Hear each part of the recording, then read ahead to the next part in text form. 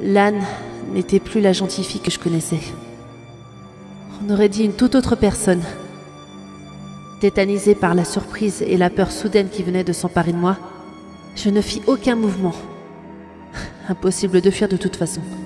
L'Inde s'était posté devant la porte, les bras croisés, le regard fixé sur moi. Impossible également de me calmer, car au-delà de ma situation actuelle, les météorites et le tsunami allaient arriver. Et je me devais de trouver la solution. Que. que- qui es-tu? Je suis Dan Tetohime. Pas ça Qu- Qu'est-ce que tu fais ici? Quel est ton but? Me venger des Umikami. Elle venait de me répondre avec une telle froideur, sans la moindre hésitation. Ça me fit frissonner. Je ne t'ai rien fait Tu te fous de moi? Dois-je te rappeler l'incendie d'il y a 11 ans? Quoi? Comment tu sais ça? Tu étais là? On va dire ça, oui. Mais... J'étais citée comme la seule survivante de l'incendie. Comment ça se fait que tu sois encore vivante? C'est une histoire assez complexe, mais je pense qu'il est temps pour toi de savoir.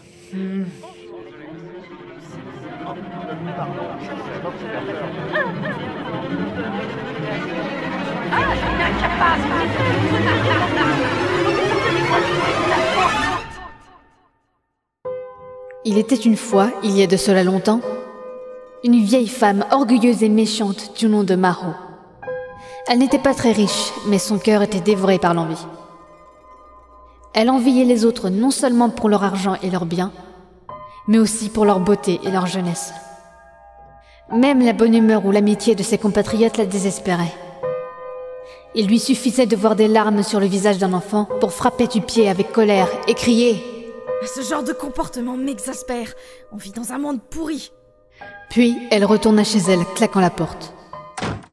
Ce jour-là, elle fouilla son étagère remplie de livres et en prit deux. Le premier était assez vieux et plutôt usé, l'autre avait l'air plus neuf et était orné d'une émeraude sur la première de couverture. Elle ouvrit le premier et tourna les pages une par une pour trouver ce qu'elle cherchait. Ensuite, elle dessina de sa main un cercle magique sur le sol, y déposa le deuxième livre et lut l'incantation. Je vous appelle, démon des enfers. Donnez une seconde vie à ce livre vierge. Donnez-lui un pouvoir hors du commun. Que ce livre d'un autre temps puisse changer la vie et le futur des humains. Qu'il soit éternel et qu'il devienne le fardeau des hommes. Plus l'incantation était prononcée, plus le second livre brillait. Quand la jeune femme eut fini de lire l'incantation, la salle s'emplit d'une obscurité sans nom. Elle s'approcha du livre et réalisa qu'elle avait réussi. Elle venait de créer le Book of Another Time. De peur que quelqu'un ne vienne le lui prendre, elle décida de le garder tout le temps avec elle. Après cela, elle créa une librairie qu'elle appela tout sobrement Another Time afin de gagner sa vie. Les affaires marchaient bien, car elle recourait au pouvoir du livre pour attirer les clients et les donateurs. Une manière pour elle de tester ce qu'elle avait créé. Tout allait bien. Jusqu'à ce qu'un couple entre dans la librairie. L'homme, distrait et les mains pleines de livres, percuta Maro alors qu'elle sortait de son alcôve, avec le Book Another Time contre elle. Le choc fut terrible, à tel point que Maro fit tomber une étagère, pleine de livres évidemment. Le Book of Another Time lui échappa et termina sa course dans le tas d'ouvrages étalés sur le sol. Maro eut du mal à retrouver ses esprits, et quand elle fut remise, l'homme était toujours là. Il avait déjà ramassé les livres qu'il venait d'acheter et s'apprêtait même à partir. C'est uniquement un petit gémissement de douleur de la gérante qui le fit revenir. Je, je- je suis, je suis désolé, mademoiselle. Non, c'est moi. Désolé. Ne vous en faites pas. Plus, plus de peur que de mal. Quel toupet Et impossible pour Maro de se précipiter sur le tas de livres afin de récupérer son précieux ouvrage. Elle aurait tout fait d'éveiller les soupçons chez ce client maladroit. Elle serra les dents et se contenta de dire Oh, je vois que vous avez acheté beaucoup de livres. Oui, c'est pour ma fille de 6 ans. Elle adore qu'on lui raconte des histoires, vous savez. Et votre librairie est vraiment un paradis pour elle. Il faudra que je la fasse venir un jour. Quand elle sera en âge de choisir elle-même ses lectures, bien sûr. Je vois, je vois. Eh bien, je vous souhaite une bonne lecture. J'ai du rangement à faire. Merci et bon courage à vous. Au revoir. Maro attendit que l'homme sorte pour se précipiter vers la pile de livres en vrac. Et elle commença à paniquer. Le Book of Another Time, qu'elle avait tant essayé de protéger, avait disparu. Pleine de rage, elle se mit à réfléchir, et la solution lui vint très rapidement. C'était cet homme qui lui avait pris le livre. Elle était restée suffisamment longtemps sous le choc pour qu'il lui prenne. Elle se précipita dehors pour le rattraper. Mais il était trop tard. Alors, rouge de colère, elle ferma boutique et alla se terrer dans son bureau. Elle prit son vieux grimoire, le feuilleta quelques instants. Puis, bougonnant et non convaincue, elle dessina sur le sol un autre cercle magique différent du premier et lut cette incantation. J'en appelle à l'âme d'un autre temps. Que l'esprit d'Another Time prenne vie sous les traits d'une jeune fille, afin que s'accomplisse ma vengeance et que ce qui est mien me soit rendu. Le cercle magique brilla un instant et une personne apparut soudainement au centre de la pièce. Elle avait les cheveux au carré, des yeux couleur émeraude et portait une robe marron et des mocassins assortis à ses vêtements. Maro venait de créer une humaine à partir d'un livre. Elle n'en revint pas elle-même. Réussi Bonjour, maîtresse. Je pourrais savoir ton nom? Je m'appelle Amy Tatelon. Je suis une incarnation du livre nommé Book of Another Time. Et sais-tu pourquoi tu es ici? Pour créer un lien entre vous et le livre? Hmm, on va dire ça. Mais je voudrais te confier une mission. De quoi s'agit-il? Un homme vient de me dérober le livre dont tu es issu. Tu dois me le rapporter. Très bien. En tant qu'esprit, je peux suivre le livre et le retrouver facilement. Bien Raison de plus pour t'y mettre tout de suite. Oui, maîtresse. Oh, une dernière chose. Débrouille-toi pour faire disparaître ce félon et tous les membres de sa famille. Découvre son nom et traque-les jusqu'au dernier. Aucun d'entre eux ne doit hériter du livre, tu m'entends? Très bien, maîtresse.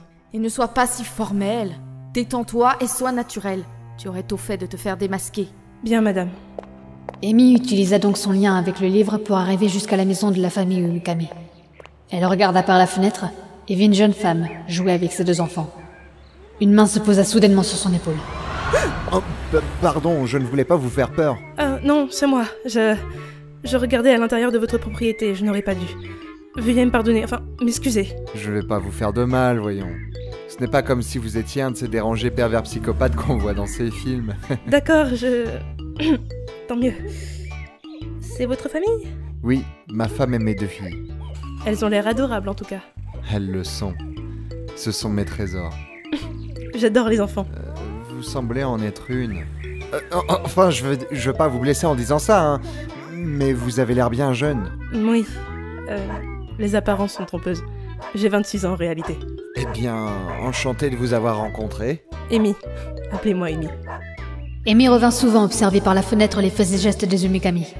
À chaque fois, quoi qu'elle fasse, elle se faisait surprendre par le père. Elle finit même par croire que l'espionne se faisait espionner. Au fil des jours, Amy ne se cacha plus et put même entrer en contact avec les enfants. Elle gagna la confiance de la famille, s'inventa une vie et prit une place particulière auprès des Umikami. À tel point qu'un jour, Amy, j'ai une proposition à te faire. Je sais que tu recherches du travail et nous avons besoin d'une babysitter. Ça te dit de le devenir C'est vrai Mais je ne sais pas. Je ne sais pas si je serai à la hauteur. Je sais que tu aimes les enfants et tu as un lien particulier avec nos filles. Euh, Je le vois bien depuis plusieurs jours. Je ne sais pas ce que tu leur as fait, mais elles semblent t'apprécier autant que leur mère. Eh bien, je dois avouer que ça me plairait assez. Eh ben qu'il en soit ainsi. Les filles vont être contentes. et ce fut le cas, Ah, merci d'avoir accepté, Amy. Ça nous aide vraiment. Nous allons pouvoir reprendre le travail. Mais avant, je souhaite te tester. Ah Oui, nous devons sortir faire des courses. Garde les filles jusqu'à notre retour. Et nous verrons si tu t'en sors bien. Et si le travail te plaît. Il n'y a pas de souci. Je vais bien m'occuper d'elle. Bien Les filles, n'embêtez pas trop Amy. Oui, maman. À tout à l'heure. à peine eurent-ils claqué la porte que deux regards d'enfants se fixèrent sur Amy. On fait quoi maintenant? Eh bien. Est-ce que vous aimez les livres? Oui, papa et maman nous lisent des histoires tous les soirs. J'adore les livres. C'est vrai? Tu peux me montrer la bibliothèque? Oui, bien sûr. Amy en profita pour localiser le livre, mais ne put à aucun moment s'en emparer sans éveiller les soupçons. Pour elle, il était devenu difficile de remplir sa deuxième mission, éliminer les Umikami. Car même si elle n'était qu'une création, qu'un esprit, elle s'était un peu attachée à cette famille. Elle sentait que sa prochaine rencontre avec Maho n'allait pas être de tout repos. Une fois sa mission accomplie et le soir venu, elle se dirigea donc vers la librairie. Tu te décides enfin à revenir. La mission que je t'ai confiée est pourtant simple. Eh bien, j'ai trouvé la personne qui possède le livre, mais aucun moyen de le prendre sans éveiller les soupçons. Et vous m'aviez bien demandé de rester discrète, non? Ah oui, personne ne doit faire le lien avec moi, personne ne doit enquêter sur le livre. Ne vous inquiétez pas, ils m'ont engagé comme babysitter et je peux revenir quand je veux chez eux. D'ailleurs, leurs enfants m'apprécient et... Tu es babysitter Et le livre Pendant que mademoiselle joue les gardes d'enfants, Léo Mikami possède un livre surpuissant. Mon livre Pas de sentiments, trouve un moyen, quelque chose, je ne sais pas, je... Maîtresse? Oui, oui, pourquoi pas? Il faudrait les forcer à utiliser le livre. Poussés par la curiosité, ils pourraient l'utiliser en pensant faire bien, mais il arrivera forcément un moment où ils briseront les règles fixées. Et c'est à ce moment-là que le châtiment s'abattra sur eux. Le livre ne laissera rien passer, et il les tuera tous. C'est parfait. Fais en sorte qu'ils utilisent le livre. Débrouille-toi, mais fais-le vite. Sinon, tu auras affaire à moi. Est-ce clair? Et le temps passa. Amy fut incapable de se résoudre à faire du mal aux filles, et elle n'arriva pas à convaincre subtilement les parents Umekami des pouvoirs du Book of Another Time, même s'ils en parlaient parfois. Nous étions en décembre 2001, et le plan de Maru n'avançait pas. Tu n'es qu'une incapable Je fais de mon mieux, je vous le jure Dans ce cas, je vais m'en charger. Fais-les revenir à la librairie demain, avec mon livre, et je me charge du reste. Que toute la famille soit là. Je compte sur toi. Très... très bien. Le lendemain, Amy se rendit chez les Umikami à l'improviste. C'est Emily qui vint lui ouvrir la porte. Coucou Madame Amy Tu vas nous garder aujourd'hui? Non, je suis venue proposer une sortie à tes parents. Et à toi aussi, Émilie. Ah, euh, attends, je vais les appeler.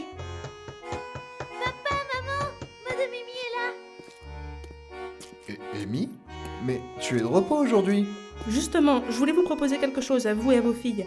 Pourquoi ne pas retourner à la librairie dans laquelle vous avez trouvé tous ces superbes livres? Peut-être qu'Emily pourrait enfin choisir elle-même ses lectures. Je sais que vous voulez attendre qu'elle soit assez grande, mais je pense sincèrement qu'il est temps pour elle. Ah Euh, tu crois? Oui, et peut-être que nous pourrions en profiter pour nous renseigner sur ce livre, celui dont nous avons déjà parlé, le fameux Book of Another Time. Je sais que ce livre vous intrigue vous aussi, et je sais de source sûre que la libraire est une experte. Je suis certaine qu'elle pourrait nous renseigner. Ce sera comme une aventure, en famille. J'aime ta façon de présenter les choses, Amy. Ça me paraît être une excellente idée. Qu'est-ce que tu en penses, chérie? Eh bien, nous n'avons rien prévu et je m'ennuie un peu à vrai dire. Alors allons-y. J'ai pas envie. Les livres, c'est barbant. Rabat-joie. Enfin, tu as 16 ans. Tu peux te garder toute seule, je te fais confiance. T'inquiète, maman, je gère. Mais... Allez, ne perdons pas de temps. Et c'est ainsi que les Umikami se dirigèrent vers la librairie de Maru, sans savoir ce qui allait arriver. Immédiatement, le père d'Emily reconnut l'endroit pour y être déjà allé il y a quelques mois. Waouh Il y a plein de livres C'est le but d'une librairie, ma puce. Dis maman, je peux aller les regarder? Oui, mais fais attention de rien abîmer, surtout. Oui papa Je connais la gérante. Je pense qu'elle acceptera de vous aider avec plaisir. Euh... Eh bien, je crois la reconnaître également, en fait. Elle se souviendra sûrement de moi. Notre rencontre fut... frappante, c'est le cas de le dire.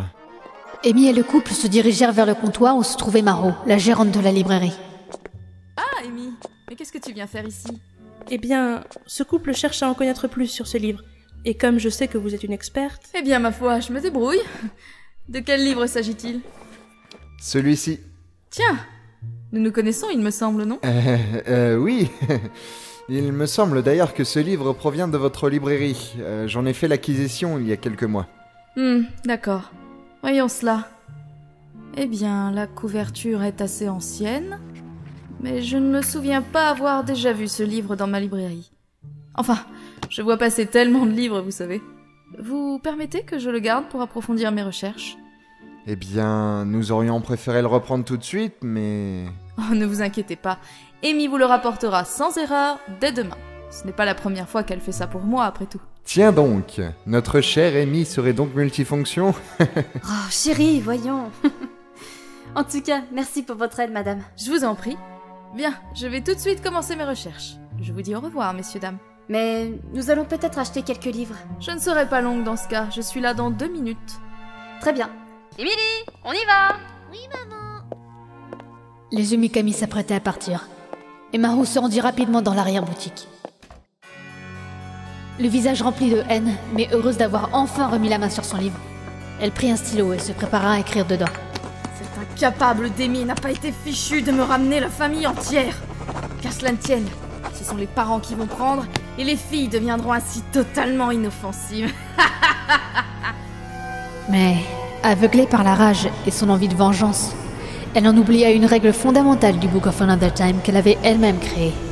Et son souhait de voir les parents d'Emily mourir se transforma en une prophétie qui toucherait la ville entière. Et Akabara sombra ainsi sous l'emprise des éléments le 21e jour de décembre. L'œil du cyclone le dévora tout entier et rien ni personne ne put survivre à la furie du temps. Qu'est-ce que... Oh non, non, qu'est-ce que j'ai fait? Je dois quitter la ville, je dois... Une odeur de brûlé vint soudainement lui emplir les narines. Et bientôt, une fumée grise passait sous la porte de l'arrière-boutique. Maho resta stupéfaite quelques instants, sans vraiment savoir ce qui se passait. Tout basculait, et elle n'arrivait plus à réfléchir. Amy entra brusquement dans la pièce, paniquée. Maîtresse, votre librairie prend feu. Il faut vite sortir d'ici. Le Book of Time ne doit pas brûler. Toi, toi, tout est de ta faute. Je viens de créer une prophétie. De ma faute? Mais vous avez vous-même enfreint les règles du livre que vous avez créé en souhaitant la mort de Scoop. Toi qui as modifié le texte du livre. À vous. Je suis l'esprit de l'autre temps. Le livre est lié à moi, mais je ne le contrôle pas. Totalement incontrôlable, Maru se jeta sur Amy et commença à l'étrangler. Elle n'était plus elle-même. Elle venait de sombrer dans la folie. Mais elle lâcha prise rapidement, suffoquant et respirant avec peine. Elle s'étala sur son bureau et prit le livre contre elle. Je vais vous sortir d'ici, maîtresse. Amy, je veux... Je, m'écoutes. Je suis la créatrice du Another Time. Je me dois obéissance. tu es l'esprit de ma création. Tu dois de venger ma mort et de terminer ta mission. Détruis les Umikami. C'est de leur faute. Tout... Tout est de leur faute. Ils ne doivent pas vivre. Ils ne méritent pas. Amy, comme envoûtée par les dernières paroles de sa maîtresse, se jura de réussir. Elle s'empara du livre et passa par la porte de derrière afin de s'extirper des flammes. Une fois le livre en sûreté, elle se précipita de l'autre côté pour observer la scène. Deux camions arrivèrent sur les lieux et des pompiers commencèrent à éteindre l'incendie. Elle put voir la jeune Émilie en pleurs, à côté d'un pompier qui essayait de la consoler. Elle en conclut sans mal que le couple Mikami avait péri dans les flammes et que la moitié de son objectif était donc atteint. Il ne restait plus qu'Emily et Alice. Alors elle disparut, quelques mois.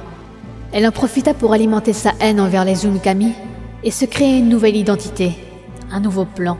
Elle décida de laisser faire le temps. Elle décida que ce ne serait pas l'esprit du livre qui allait détruire les Umikami, mais le livre lui-même. Ainsi, la vraie gagnante serait Maho, la créatrice. Elle profita de l'absence des deux sœurs pour se glisser chez elle et cacher le livre au grenier, au milieu de tout un tas de bibelots. Puis elle disparut de nouveau. Elle ne fit son retour qu'en 2012, sous les traits d'une jeune fille nommée Lan. Et elle comptait bien se délecter de la victoire de sa maîtresse et du Book of Another Time. Donc. Tu es bien mon ancienne babysitter, c'est ça? Exact. Comme je suis un esprit, je peux changer de forme à ma guise.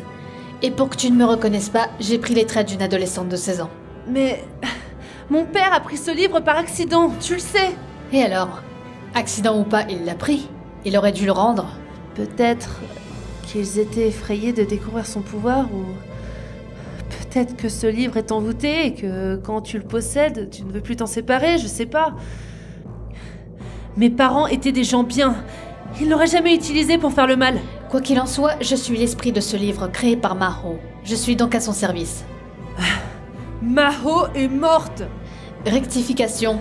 Tu as tué Maho, n'est-ce pas? Je. Une seule personne a survécu à l'incendie de la librairie, et cette personne, c'est toi. Je suis maintenant persuadée que tout est de ta faute. Tu as tué ma maîtresse, dis-le Dis-le-moi Maintenant Oui. Oui, c'était moi. Mais. Mais c'était un accident. Je n'ai pas voulu tout ça. Et j'ai perdu mes parents, moi. Tu as tué ma maîtresse. Écoute, si tu m'en veux pour ça, alors je te demande pardon. Mais encore une fois, c'était un accident. J'étais jeune, inconsciente et. Je pense que tu peux comprendre que si j'avais pu éviter de perdre mes parents, je l'aurais fait. Inutile d'essayer de te justifier. Si j'avais été humaine, je comprendrais sûrement. Mais je suis liée au Book of Another Time et à son créateur. Je dois donc lui obéir. Et obéir à son créateur. Tu dois mourir L'âne s'apprêta à me sauter dessus. Ma seule réaction fut de prendre ma lampe de chevet et de lui jeter au visage. Elle se protégea mais recula légèrement, surprise.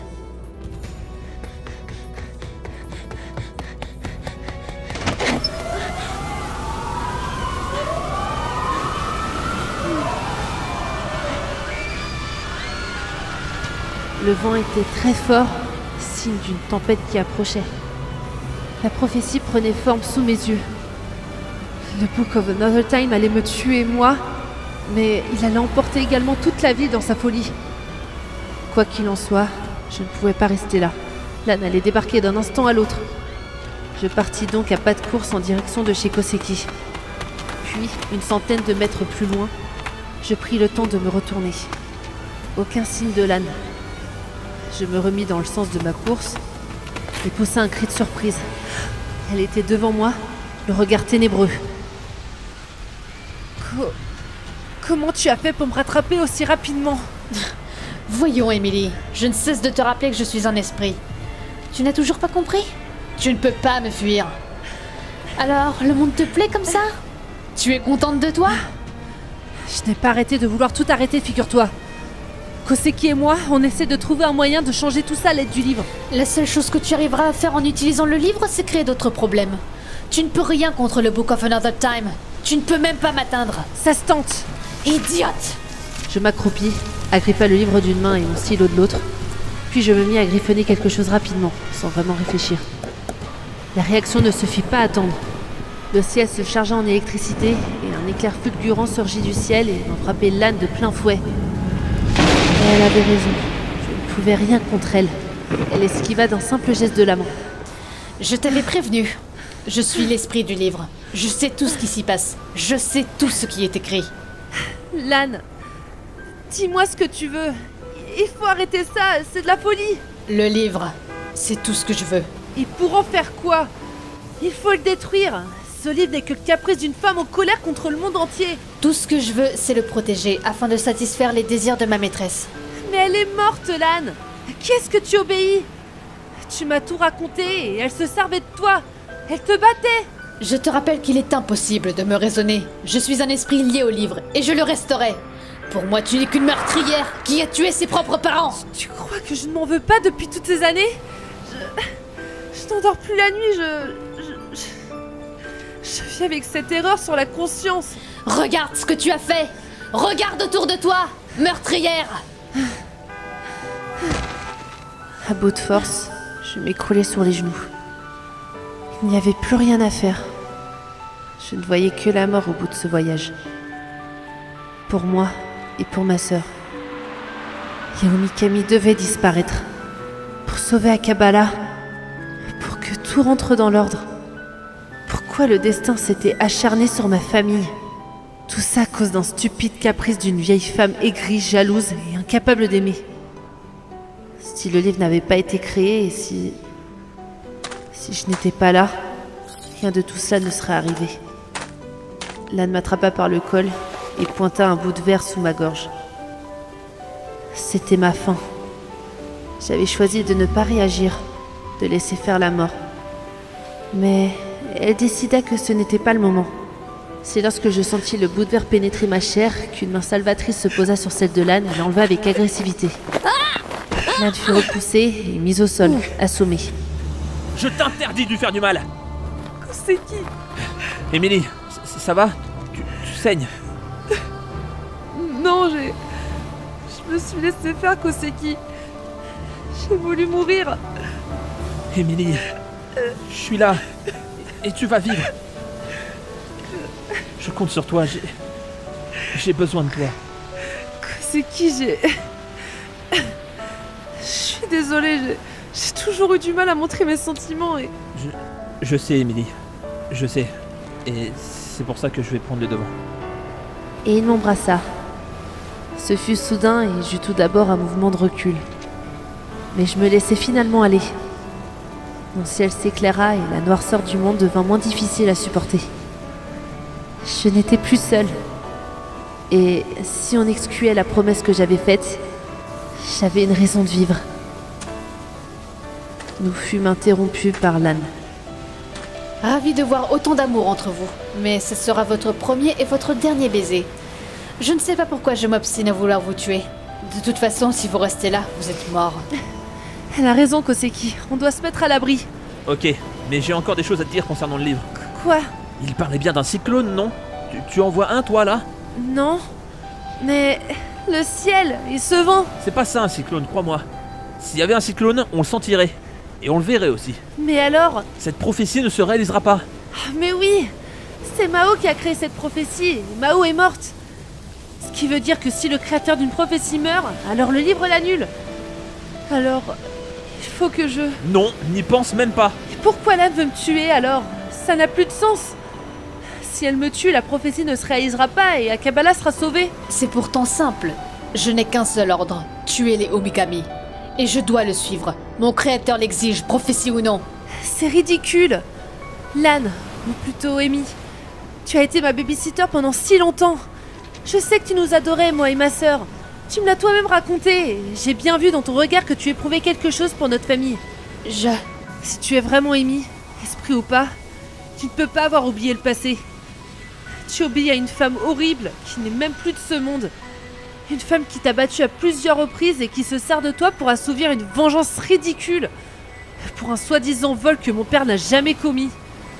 Tout ceci est ridicule, réveille-toi Le Book of Another Time est un livre merveilleux. Une création magnifique, mais terriblement dangereuse. Il a été créé par la mauvaise personne. Moi, je prendrai soin de toi, Amy. Tu ne seras plus obligée d'obéir à des ordres ridicules. Tu seras libre. Mais il faut arrêter tout ça. Alors, le seul moyen est de détruire le livre. Mais dans ce cas, je... Je ne sais pas ce qui va se passer. Comment ça, tu ne sais pas? Tu, tu es bien le livre en personne. Tu devrais le savoir. Tout pourrait s'annuler.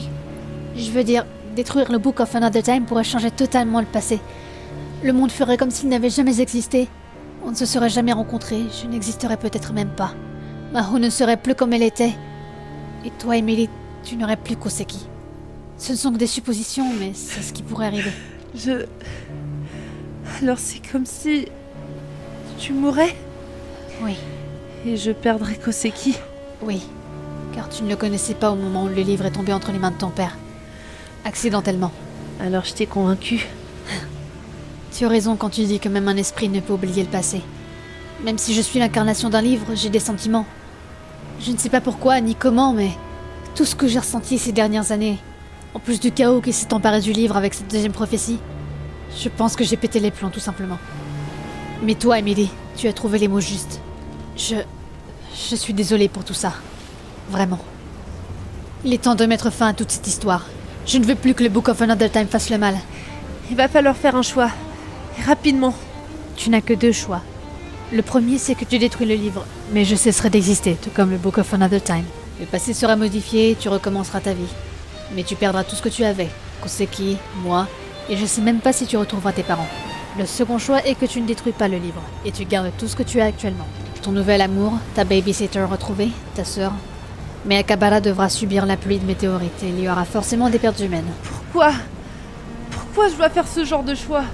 Je suis là, Émilie, je suis là. Choisis en ton âme et conscience. Je te soutiendrai quoi qu'il arrive.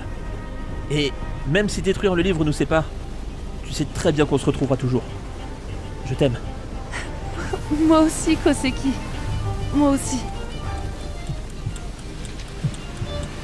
Il est temps de choisir, Emily. Dans quelques secondes, il sera trop tard.